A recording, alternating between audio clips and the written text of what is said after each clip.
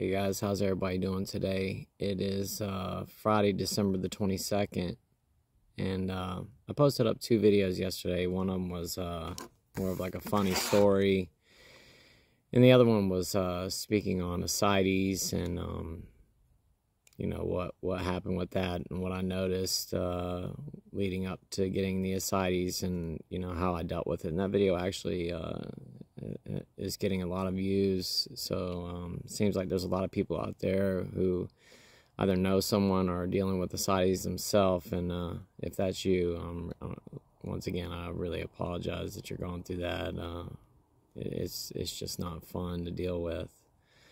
Um, today, I wanted to bring up a topic uh, that um, this one is probably going to be a little bit controversial just because uh, the nature of what I'm going to speak about. Um, this is something for everyone to watch, but you know, the, there's going to be a lot of spouses and loved ones out there who know an alcoholic um, that uh, this could this could help. Um, and I don't know I don't know. I've thought a lot about this one, and uh, but I think it's needed.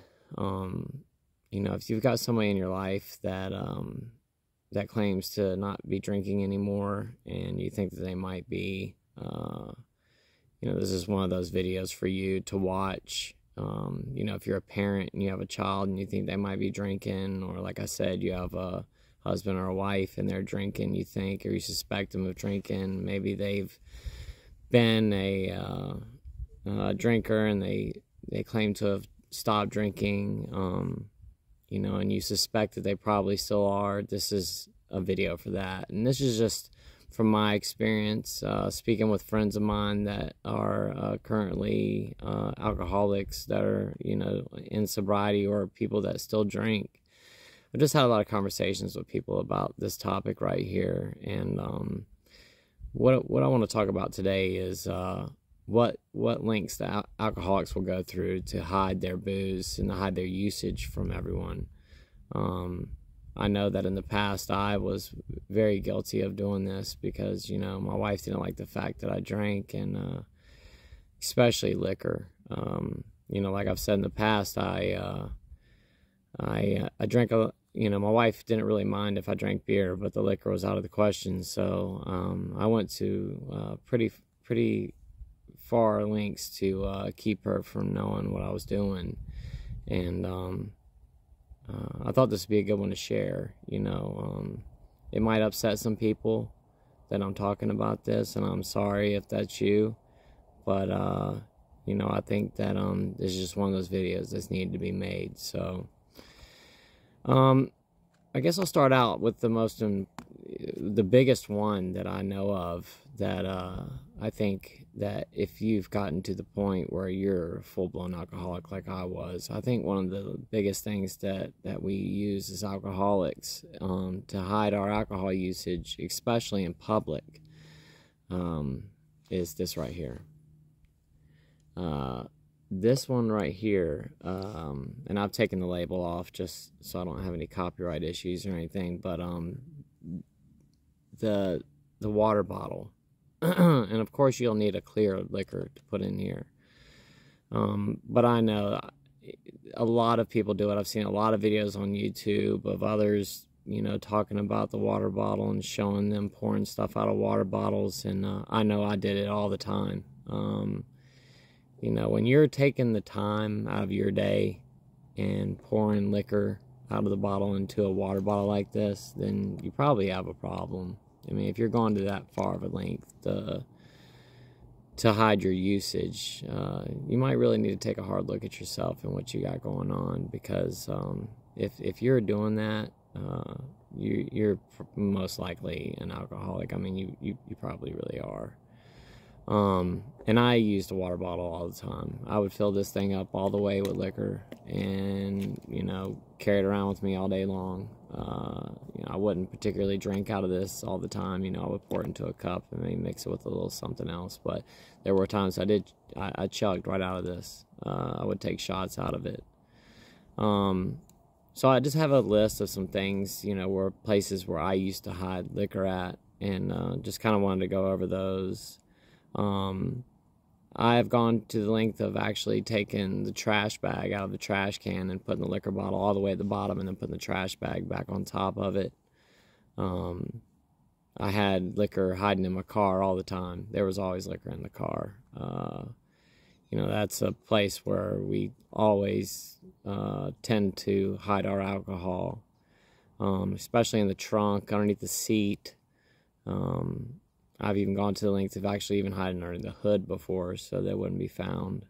Um, I've taken liquor bottles and hidden them in the back of a toilet before, in the back part where you lift it up and the water's in there. I've hidden liquor in there. Um, I've actually hidden liquor bottles underneath of my house in the crawl space before.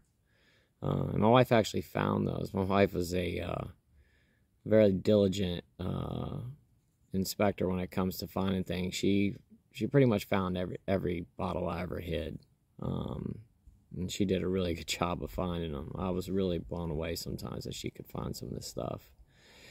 Um, I would take bottles and hide them out in the woods. Uh, you know, get some pine straw and kick it up over behind a tree where I could find it. my wife's even found those before. Um, I've hidden liquor in the shed. Uh, I have a shed with all my tools and stuff like that in there. I've hidden bottles in there before. Um, I've hidden bottles in the AC vents. Uh, you know, you just lift the vent right up and you can slide a bottle right in there. And uh, it's pretty easy to, to, to get it down in there and get it right back out. And this, you can't see it. Um, I've hidden liquor underneath of the bed before, and that was found. Um, I've hidden liquor in the closet, mixed up in my clothes. Uh, I've, you know, jacket pockets, uh, you know, your jacket's hanging up in the closet, and on the inside, a lot of times I'll have like an inside pocket in there. I've hidden liquor bottles in those before. Um, couch cushions, uh, you know, up under, lifting the cushion up and hiding in there. I've actually, uh, one of the places I used to hide my liquor at all the time was in the back of the couch cushion. I could just stick my arm down in there and just pull it right back up. And uh, it was actually a really easy place for me to get access to it, especially, you know, like if you know, we were in the kitchen or something, I could go into the living room real quick, grab that bottle out, and go in the bathroom, take a swig, and then slide it back in there when I walked back in. Um, I've talked about this before, but I used to take mini bottles and I would hide them on my socks and in my shoes. Uh, you know, I'd come in with a six pack of beer and then in my socks I'd have, you know, six mini bottles and, you know, I would, you know, go to the bathroom and, uh, you know, when you're drinking, you, you urinate a lot. So I would, you know, use the restroom, and then while I was in there, I would take that bottle, take a swig, and then put it back in my sock. And like I've said before, I I would take those mini bottles and wash them out, so I didn't have to keep buying them because they're rather expensive. You know, they're like a dollar fifty, two dollars a piece, and I would just take those little bottles, wash them out, and then I had a funnel that fit right in the top of those mini bottles, and I could fill them right back up. And I would do that every single day you know, I would get up in the morning and my wife would be gone for work and I would take my funnel and fill up all my little mini bottles and then I had to take the bottle and then go hide that and then I would take the mini bottles with me. And then when I walked in in the afternoon or at night from work, I would put those in my sock when I came inside the house. Um, same thing inside my pants, you know, like right here and where the belt is, you know, I'd slide, I could slide like a half pint in there and walk in the house and it wouldn't be found. Um, I've actually seen people with those uh, like the tea bottles, like the I don't I don't know the company what they're called, but you can get like the sweet tea in the little bottles. I've seen people actually pour bourbon in those before. Um, and there's a lot of other things out there too that uh, you know can be used. Um, I know that there's like some a bunch of different kinds of hidden flasks and stuff that you can uh, purchase online. There are uh, you'd have to go on there and do a search for yourself. I don't know of, of, a whole lot of them off the top of my head. I've just seen them before, especially in places like, you know, uh, stores that sell like novelties and stuff like that. But they have, uh, you know, like hair brushes that are actually a flask, and it'll be like the round brush, and then at the top of it, it's got a cap that you can unscrew, and there's actually a flask inside of there. But they sell a lot of products like that that, uh, you know, have hidden flask inside of them you know, that's another thing to look for. Uh, something that looks a little off and odd, you know, and then you see them carrying it around like you never see them carrying around a brush.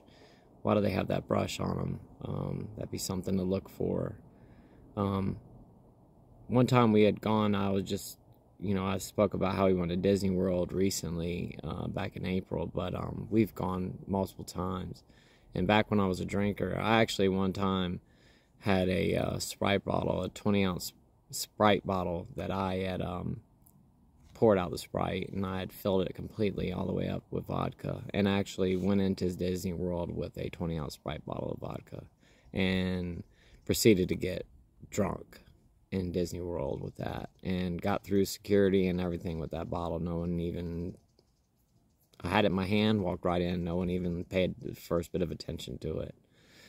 Um, so these are just things that, um, you know, I just kind of thought of off the top of my head of, of stuff that I've done in the past.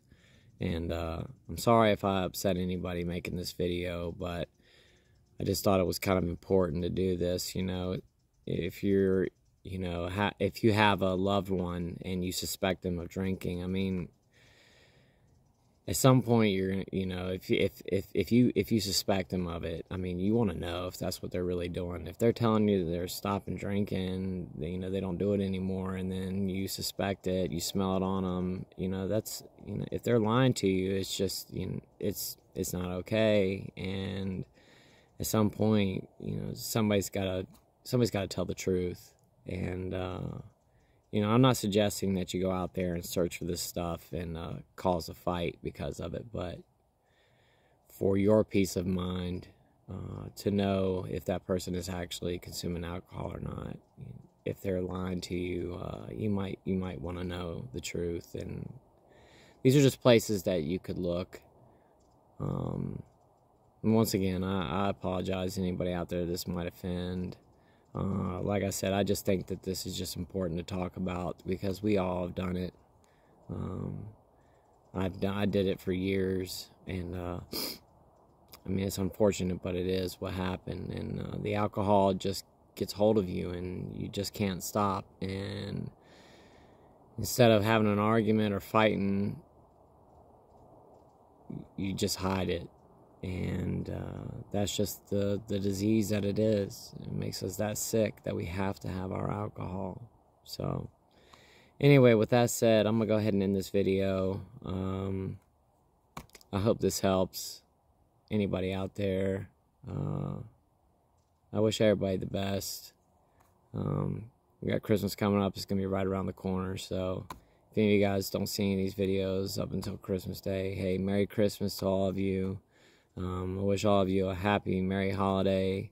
Uh, everybody that's out there that's uh, struggling right now with sobriety, hey, I really wish you the best of luck through this holiday uh, season, this weekend. I know it's really tough, especially this time of year, because there's just alcohol everywhere. Every single commercial is alcohol. You know, you've got the commercials with them pouring the alcohol in the coffee in the morning and all this kind of stuff. I mean, it's just, I am seeing alcohol ads like crazy right now. They're just all over the place, and it's just, it's pushed so hard during this time of year. You know, it's, drinking alcohol is associated with being jolly and Merry Christmas and all that stuff, and really I know from personal experience, it doesn't make for a great holiday because you know all you do is end up getting trashed and saying something that you shouldn't have said or doing something you shouldn't have done and end up pissing everybody off in the family and you know it just ends up being bad. So I really wish wish all of you the best of luck and uh, I hope that everybody can hang in there and make it through this holiday sober and dry without drinking. So with that said, guys, have a great day. I love all of you all. Thank you so much for all the great comments again. You guys are so awesome. And uh, this community is uh, just growing so large now and so quick. It's just amazing. So, with that said, guys, have a great day. And I'll see you tomorrow. Bye bye.